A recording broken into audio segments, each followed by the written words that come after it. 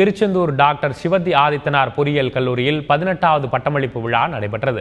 விழாவில் நெல்லை மண்டல அண்ணா பல்கலைக்கழக தலைவர் சக்திநாதன் சிறப்பு விருந்தினராக கலந்து கொண்டு ஐநூற்று இருபத்தி இரண்டு மாணவர்களுக்கு பட்டங்களை வழங்கினார்.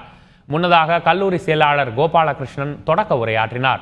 பின்னர் கல்லூரி முதல்வர் ஓஎஸ்சியின் ஜிஜி தலைமை தலைமையில் மாணவ மாணவிகள் உறுதிமொழி ஏற்றனர்.